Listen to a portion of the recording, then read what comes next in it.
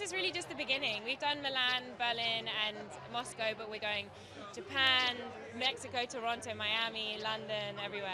Well, it's been lovely to go. You go to Russia, and the Russians say there's our Cinderella, you know, and the and the Italians say it's Cenerentola. It's it's Italian Cinderella.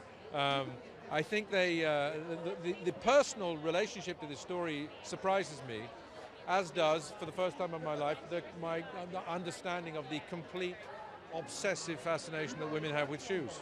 It's my mother's old dress. It would be an insult to take you to the palace dressed in these oh, old rags. you shall not go to the ball. Excuse me. Why are you crying? Who are you? That's better. My fairy godmother. why she would put up with the intense cruelty. They were incredibly evil shoes. I mean, when, when you're wearing green a lot of the time, you know, the color of envy, then you don't you can often play against it. So uh, you know, having such a, an, a, a deep collaboration with Sandy early on was a really big influence for me.